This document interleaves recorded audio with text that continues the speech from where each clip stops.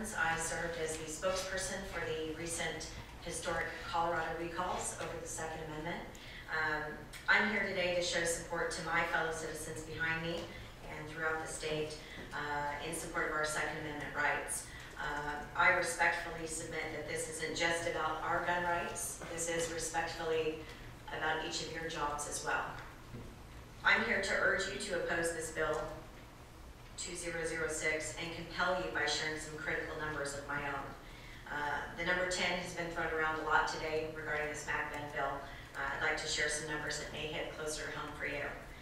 Uh, In the Colorado recalls, uh, the first in 140 years over the Second Amendment, more Democrats and independents combined signed the petitions for recall. So I want to urge this committee that the Second Amendment is not just an amendment that applies to Republicans or conservatives or so-called gun nuts. Those are Democrats and independents who are law-abiding gun owners as well.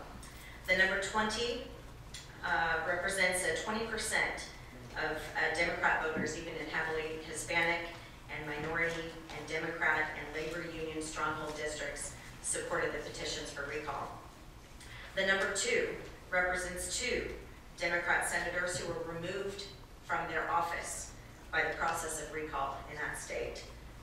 Another number two represents two Republicans who were placed into office as new office holders to replace those Democrats who were removed. The number three represents a third Colorado state official who faced recall over her votes and support of the infringement of the Second Amendment. And number one represents one of those elected officials who was uh, not only removed from office but stripped of his state Senate president title, much like the title that uh, State Senate President Sweeney holds today. Finally, uh, the number 47, the percentage of Americans who now report they own a gun, according to the Gallup poll, that's nearly half of each of your voting populations. The number 23 represents, as uh, Teresa shared, the percentage of women who are now gun owners and that number is increasingly on the rise.